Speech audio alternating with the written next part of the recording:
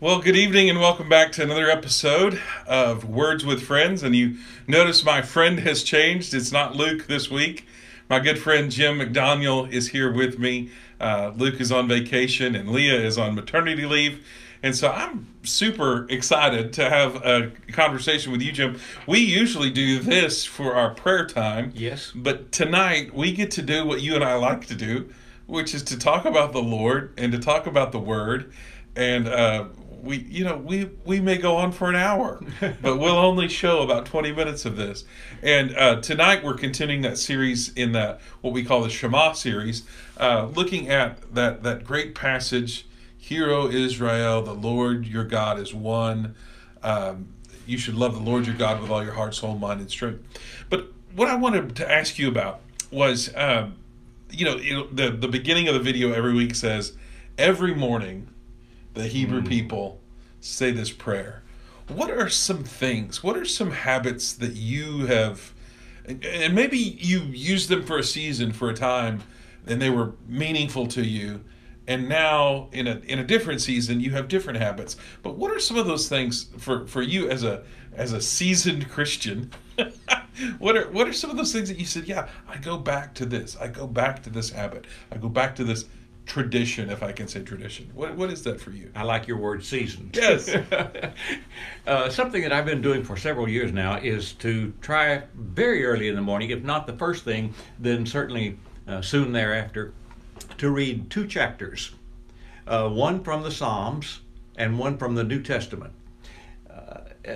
Uh, I um, I've been a part of those read the Bible through in a year programs, and I've always been frustrated by them. Now, I, I think that everyone ought to Right.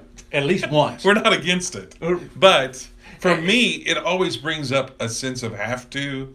It becomes uh, laborious. It becomes another one of those things that I have to catch up on. Right. It's an assignment. Yes. And yes. I don't pay attention to what I'm doing. And limiting it to a New Testament passage and a psalm, yes. then I can concentrate, slow down, read, think about it. And I find that my day goes a whole lot better when I, early in the morning, if not the very first thing, then certainly within the first hour, uh, read those two chapters.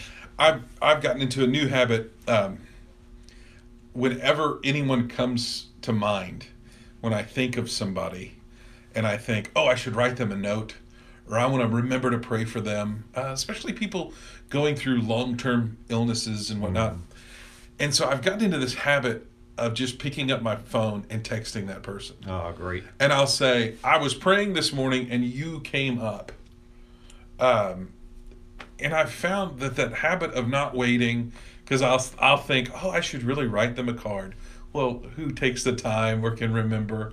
And then it would really, I would really hate this to happen. I would think about somebody, I'd be praying for them, and then I would see them and they'd say, oh, have you been praying for me? And I thought, oh i just wish i had said that you know i wish i had told them but there's there's something about the habit of encouragement Yes. of saying i i just appreciate you i'm thankful for you um i did this yesterday to a friend who's a preacher and their church has just he's preached more funerals in the last year than anybody should you remember those days Yes. and I sent him a text, told him what I you know was thinking about him, and you could tell he said he, he wrote back he said thank you. Is there a reason why you're sending me this? Like he thought, you know, is it out there that I'm super depressed or something? I said, no. Uh, now what do you want from yeah, me? just just that. Yeah, I didn't want anything. I didn't want to borrow any books. I didn't want to borrow any sermons. But something about the don't wait for it to happen. Uh, there's a type of prayer uh, often referred to as a breath prayer, a prayer of. Um, oh, I'm sorry, a breath prayer is different. It's it's like a not a spark, but just as soon as you think of it, Yes. you mention it to God. Yes, I there's, love that. There's a term for it, and I can't. I'm not thinking of it right now. I don't know the term, but I, I, I love that. And particularly when someone says, Will you pray for me? Yes. Then as I'm walking away, yes. be praying right, Right there. Uh, Right I may forget it for a while. heard a heard a great question. Uh, this was posed um, the other day in a in a Zoom call, which I know we're all tired of Zoom calls, but uh, a friend of mine he asked all of us, "What is giving you life right now?" And he talked about uh, being able to talk to his grandson he had a, a sweet little grandson, and and and uh, they, they could talk on FaceTime, and he said, "Just that gives me such life." It just it, it it brings me such joy. So, what is it for you, Jim, these days where we're a little bit isolated, we're a little bit uh, not able to do maybe all that we've been been doing? What is it for you that just breathes life into you? Oh, it is once again that contact. I think of how the granddaughters got to come over recently and spend the night with us, and that always brightens you. I think the young ones have a particular talent to just pick you up. They hardly know anything's wrong these days. Right. Uh, you know, that's something to say. We because I was just uh, having a conversation with a friend at lunch and saying how kids have taken so much of this in stride, and and they said, but kids have allowed to be have been allowed to be kids again. They're playing more. Yes. They're they're not uh, bound by schedules and practices and all these and so they're they're having a kind of a resurgence of of, of a childhood instead of you know all of these schedules which is great uh, what else gives you life um, it, it, what, what else do you have FaceTime. yeah okay Get on the phone with my uh, son in Midland, and um, sometimes we can't find the word goodbye. No it goes on and on Yeah. for an hour. Yeah. But but just sit and talk, and uh, the FaceTime puts it far more real than just a conversation on the telephone. Yeah, um, I, I've we've we've found that if we can um, be alone with one of our kids, driving down the road, uh, taking in, taking one here, but that one-on-one time, the they're not on a screen, we're not on a screen. Hello, uh, I'm guilty of that too. But it, it- they subconsciously start to talk, and now they're not thinking about we're having a discussion. Right. Uh, it's a great time for some of the talks Mm-hmm. that we talk about. That's a great time if you can get them in a car. You're both looking out the windshield. You're not looking at each other. That is life giving for me to I have find those also, times. I find also the assembly on Sunday morning. It I, I appreciate so much what you and the others have done to get us online. We needed to be there already, I suppose. Yeah. A- And, it's so valuable for the people who cannot come, but it's not the same. It, it, being with people, uh, listening to them sing next to you as Yeah. opposed to barely audible on a on a uh, recorded. I, I, I saw a brother this morning. He came by to help us with the the coats, the giving out of the coats, and they've not been able to come. And you talk about not being able to find a goodbye. you know, we because we hadn't seen each other, and we're talking and sharing, and how's this and how's that, and uh, you just it's a hard way to cut off. Kind of like right now, we have to cut off to go watch the video. So watch this video about about nephesh. I hope I'm saying that right. About uh, heart, soul. We're ta- we're talking about soul tonight, and let's see if we can uh, dig a little deeper when we come back. For thousands of years, every morning and evening, Jewish people have prayed these well known words as a way of expressing their devotion to God. They're called the Shema. Hear, O Israel, the Lord is our God, the Lord is one. And as for you, you shall love the Lord your God with all of your heart, with all of your soul, and with all of your strength. We're going to look at the word soul. The Hebrew word is nephesh. It occurs over 700 times in the Old Testament. The common English translation of this word is soul, and that's kind of unfortunate. Here's why. The English word soul comes with lots of baggage from ancient Greek philosophy. It's the idea that the soul is a non physical, immortal essence of a person that's contained or trapped in their body to be released at death. It's a ghost in the machine kind of idea. This notion is totally foreign to the Bible. It's not at all what nephesh means in biblical Hebrew. The most basic meaning of nephesh is hmm. throat. Like when the Israelites are wandering in the wilderness, they're hungry and thirsty, and they say to God, We miss the cucumbers and melons we had in Egypt. Now our nephesh has dried up. Or when Joseph was hauled off into slavery in Egypt, his nephesh was put into iron shackles.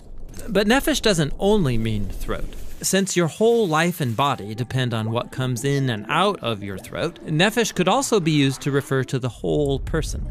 Like in Genesis, there were 33 nephesh in Jacob's family, that is, 33 people. In the Torah, a murderer is called a nephesh slayer, and a kidnapper is called a nephesh thief. On the first pages of the Bible, both humans and animals are called a living nephesh, and if the life breath has left a human or animal, the nephesh remains. It's just called a dead nephesh, that is, a corpse. So, in the Bible, people don't have a nephesh, rather, they are a nephesh, a living, breathing physical being. Now, that might surprise you because most people assume the Bible says the soul is what survives apart from the body after death. And while the biblical authors do have a concept of people existing after death, waiting for their resurrection, they rarely talk about it. And when they do, they don't use the word nephesh. So even though nephesh is often translated as soul, the Hebrew word really refers to the whole human as a living physical organism. In fact, this is why biblical people can often use this word to refer to themselves. And gets translated me or I. Like in Psalm 119, most translations read, Let me live that I may praise you. In Hebrew, the poet literally says, Let my nephesh live, that it may praise you. By using nephesh, the poet emphasizes that their entire being, their life and their body, offer thanks to God. In the Song of Songs, the young woman constantly refers to her lover as the one my nephesh loves. And of course, love isn't just an intellectual experience, it's an emotion that activates your whole body, your entire nephesh. This helps us understand the brilliance of other biblical poets who could combine multiple meanings of nephesh in one place. Like in Psalm 42, we read, as the deer pants for the water, so my nephesh pants after you. My nephesh thirsts for the living God. So, on a physical level, your throat can be thirsty, like a deer's, but then that physical thirst can become a metaphor for how your whole physical being longs to know and be known by your Creator. Which brings us all the way back to the Shema. To love God with all of your nephesh means to devote your whole physical existence to your Creator, the one who granted us these amazing bodies in the first place. It's about offering your entire being with all of its capabilities and limitations in the effort to love God and to love your neighbor as yourself. And that's the Hebrew word for soul. Well, welcome back. I hope you enjoy that. I, these to me are just rich videos, even in their their brevity. I mean, it's a short four minutes, but there's a lot there. Yes. Uh, when when I hear a guy like Jim say, "I knew that, but I didn't know this," uh, that tells me that that it's pretty good scholarship, and I've I've found something new every week in these studies. I want to go back to this passage, Jim, and I want to I want to read the whole thing. Um, because they, they alluded to it, but I, I want us to kind of make this our our basis for tonight's discussion. As the deer, this is Psalm 42. As the deer pants for streams of water, so my soul pants for you, my God. My soul thirsts for God, for the living God. When can I go and meet with God? My tears have been my food day and night, while people say to me all day long, Where's your God? These things I remember as you pour out as I pour out my soul, how I used to go to the house of God under the protection of the mighty one, with shouts of joy and praise among the festive throng. Why, my soul, are you downcast? Why so disturbed within me? Put your hope in God, for I will yet praise him, my Savior and my God. My soul is downcast within me, therefore I will remember you from the land of the Jordan, the heights of Hermon, from Mount Mizar. Uh, deep calls to deep in the roar of your waterfalls. All your waves and breakers have swept over me. By day, the Lord directs his love. At night, his song is with me, a prayer to the God of my life. I say to my rock, Why have you forgotten me? Why must I go about mourning, oppressed by the enemy?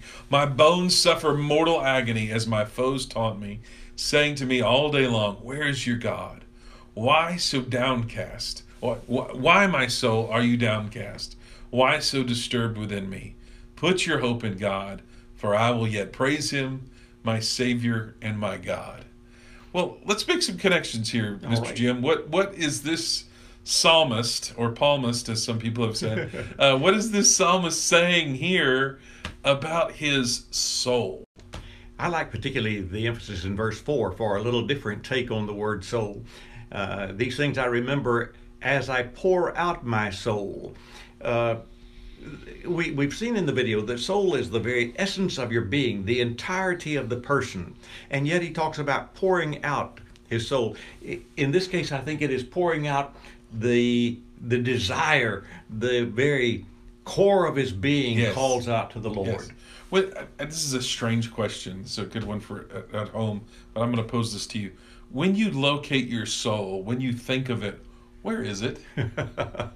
I always point to the heart, and I don't know why, because it's just the blood pump. Um, now, the the, uh, the physical life is very much soul. Sure. In fact, animals have soul, and that is that breath of life, but it is their the essence of their being. it's it's hard to it's it's a bit like our discussion about heart where for for their culture heart was what we would think of as brain um, And in our culture, that that overlap gets there.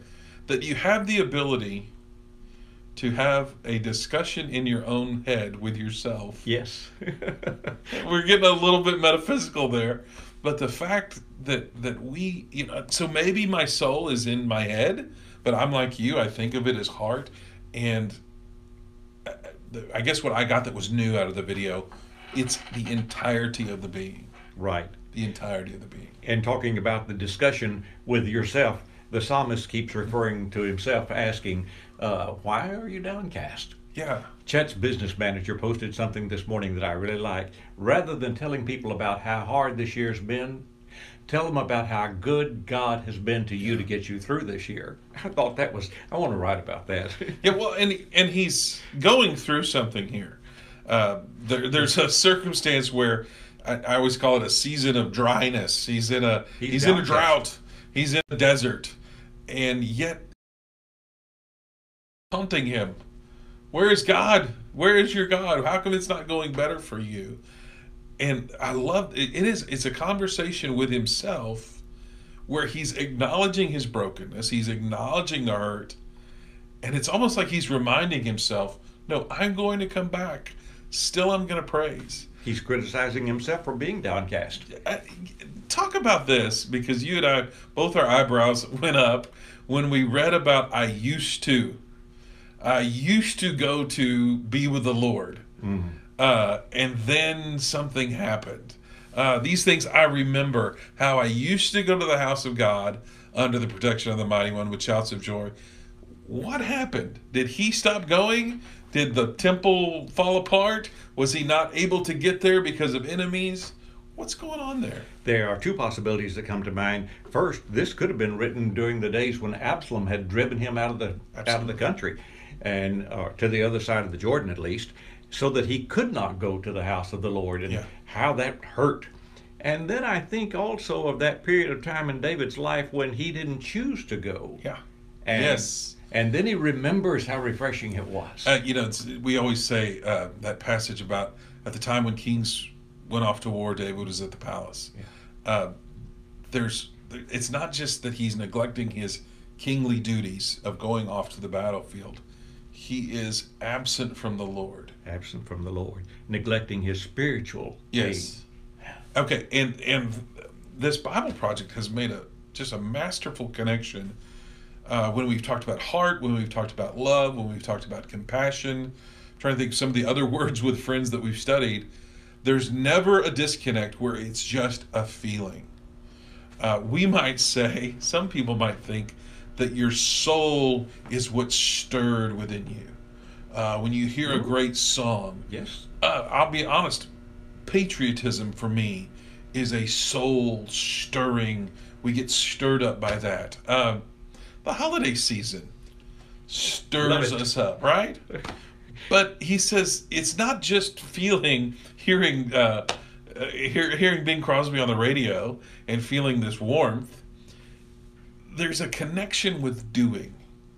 There's always a connection with uh, when he says what what we like to do is go heart, soul, mind, and strength. Oh, that must be four different entities, and so we're going to love the Lord our God.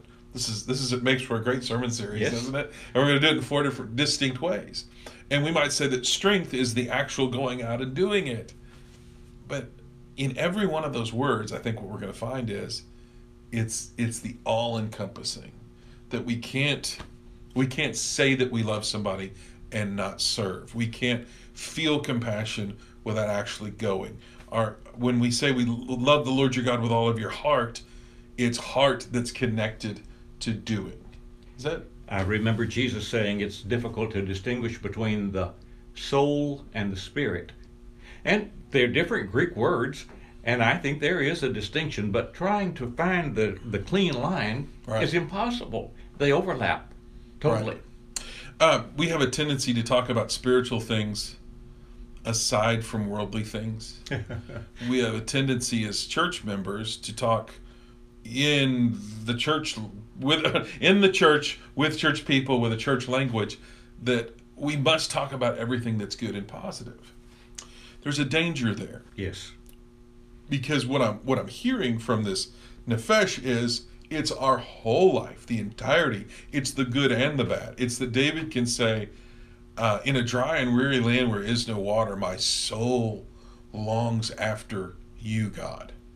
Uh, so there's a there's an honesty, there's a vulnerability. Maybe going back to vulnerability, empathy, um, that that is. Uh, Oh, it's just refreshing to to it's it's disarming. We're taking some of our armor down and we're saying, I'm bringing it all. I'm bringing my worries about COVID. I'm bringing my worries about my job. I'm bringing about my worries about my kids. My uh, the, the things that that we've you know had that are great news. All of it is coming before the Lord. And I think when we separate one out, that we do damage to it Yes. as well as to the Yes. whole concept. Yes. Uh, I cannot, I cannot do justice to my relationship with my wife if I try to just isolate that from our overall relationship or with people, with the Lord, uh, with our work. Well, but Jim, you and I've known each other long enough now to where if all you ever told me stories about you and Judy were all positive and all loving, I wouldn't come to you for marriage advice. but the other side is true too. If all you ever told me was, "Well, that Judy." Man, she just, you know, we just it- Hard life. it- I wouldn't come to you for marriage advice. The person we want to hear from who goes, "Oh yeah, It's real. it's real. Uh, these were the struggles. These were the joys. This is when we were just knocking it out of the park, doing great. And these are the times when we we just were we're relying on other people. Um, that's the whole picture. That's a wholeness. I want to talk one real quick. Uh, I, I want I want to bring this up. It's a it's a Mother Teresa story that I want to get to. And now my screen went dark. Uh, but we talk about when when people of great faith go through difficult times. I want to share this story uh, if I can get it to come up here. Um, not long after Mother Teresa passed away, a collection of her journals and letters were published, and those writings revealed a surprise to the to the world. When Mother Teresa began her work with the poorest of the poor in Calcutta, India, it was with a profound sense of God's call. At the age of 36, she heard, God, heard God's call and experienced what she described as a profound sense of God's presence. But throughout most of her work in India, Mother Teresa experienced a deep loneliness mm. and longing and an overwhelming sense of absence of God. In 1979, when she received the Nobel Peace Prize, imagine this, she told those who gathered in her honor to honor her that the radiating joy is real and Christ is everywhere. Christ is in our hearts. Christ is in the poor we meet. Christ is in the smile we give and in the smile we receive. But just a few weeks later, imagine this, just a few weeks later, she had written to her spiritual director Jesus has very special love for you. As for me, the silence and the emptiness is so great that I look and do not see, that I listen and do not hear. Wow. I love her candor. And I must say that I identify with that. There have been some times when I worked on a sermon and did not feel the presence of the Lord, did not feel a closeness to Him. It was, uh, I suppose, almost mechanical. And I'm afraid that that was reflected then, uh, so much so that the hearers knew. Uh, it, it's there's something surprising when you hear somebody that you think of as having such great faith, such great depth. In fact, when the I think when the world points to how Christians ought to behave, it's Mother Teresa. You go and you help the dead and the dying, and you're down in the you know the the slums with the poorest of the poor. And in that, to hear her say, "I looked for him and didn't see him. I listened and did not hear," that might be the best description of spiritual loneliness. Um, to to ask God and not receive an answer, to ask God and not receive the answer that we want, to pray and feel like the prayers are hitting uh, the ceiling, to open the Bible and it just all feels a little stale. Um, why is it important, Jim, for us to be honest about those times? Well, first of all, like I said a moment ago, we can pretend, but so often people listening to us know whether it's Yeah. real or whether it is pretense. and then for ourselves, if I can be honest with me about where I am spiritually, then I know what to do. I, I can grow. I can get out of that. I can be where David was in Psalm 42. Why are you downcast? There's, there's no reason for this. Uh, and, and then I call to the Lord again. But if I'm going to be pretending with myself, uh, I can get pretty lost in a world that I don't want to be a part of. And you can only pretend for so long. The the the seams begin to show. yes. The the hollowness of those words begin to ring out. I was having a meeting yesterday with a, a group of preachers, and our our coach, our mentor, he asked us. He said, ne- or he, he said, never underestimate uh, the importance of genuineness and uh, sincerity. That even if you flop your sermon, that your audience is most likely going to pick on pick up on whether or not you were really sincere. Yes. And I couldn't help but think, sincerity. I bet that's something I could fake. You know, like, but you can for a while. You, You can, can. you can kind of pick yourself up and go, I'm going to be bright and cheery and optimistic. I think there's something of much greater value to time for for sometimes to hear. I'm really struggling. I'm having a hard time right now. I've looked and not seen. I've listened and not heard. Um, that's that's a powerful word, powerful word. I and again, if I if I have a friend who is always bad news, I don't call him very much. Right. And if I have a friend who's always good news, I don't believe him very much. you know that there is this. I, I guess I guess what we're taking from tonight is that there is a, an entirety. That's it. You That's know? it exactly. All of these different terms, soul, spirit, strength, heart, must overlap. And, and and you could almost use any one of them Yeah. to express the entire thought. Well, let me give you a couple questions here, maybe something to discuss. I'm thinking about the kids who have now long gone asleep listening to us wax philosophical about about the Lord. Um, what is it that brings them life? What is it that brings them great joy? I think that's a great question for kids. When are you most alive? When are you most happy?